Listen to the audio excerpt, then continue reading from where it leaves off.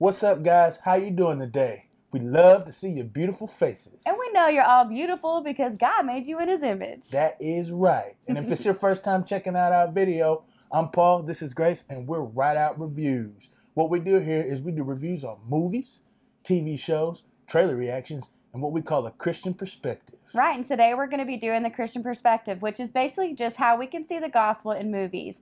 So if any of that sounds even remotely interesting to you, make sure that you hit that subscribe button and smash that bell so that you get all the notifications. We're always having new content coming out on Tuesdays and Thursdays, and every once in a while we'll sprinkle in just a little extra.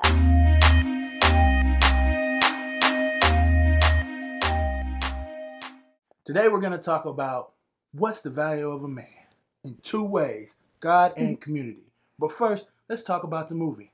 Hobbs and Shaw is a spinoff of Fast and Furious, and it is just that. It's Fast and it's Furious.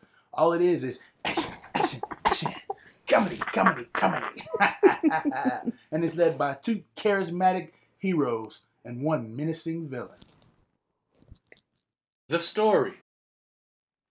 A virus has been stolen, which could end the world.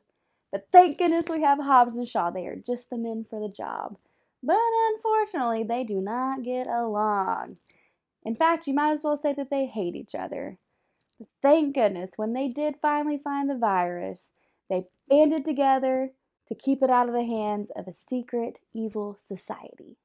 Evil motives. Etheon, the evil organization behind the theft of the virus, believes that they can revolutionize humanity through technology, intelligence, and physical strength. They plan to release this virus on the weak, targeting their DNA so that only the strong survive. The problem. What is the value of man? Well, Etheon says that value is in your strength and your intelligence. They find value in the individual over the relationship. They say the strength of one more than the bond of many. But The Rock says at the end of the movie, you may have your technology, but we have heart. And when he said that, he was talking about family. Worth and community. Number one, our value is found in being created by God. God created us in his image, and in that alone, we have infinite value. And this value is intrinsic, meaning that it's not based on any of our own actions, but rather just by the goodness of our God. Number two, God has created us to live in community together. Right.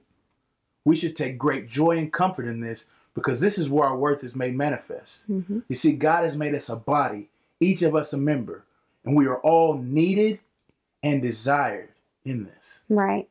And Jesus, because he created us and he loves us, shows us this infinite worth by dying on the cross for our evil deeds. Yes, so if we believe and we receive this gift of grace, Right. then that takes us one step closer to realizing our worth and unity that God has desired from us from the very beginning. Absolutely.